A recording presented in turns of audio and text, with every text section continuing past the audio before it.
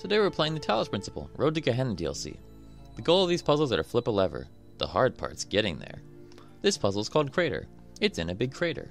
They want you to use blue wall jamming thingies to pass blue and red lasers between crystal podium thingies to get fans to blow you through the sky. After that, you do stuff with a cube or something. I don't really know. It sounds too complicated. I'd rather drown myself. Here's the real solution. You jump off this thing, into the thing, and you're done. Solved in record time. And that's how to beat this puzzle the wrong way.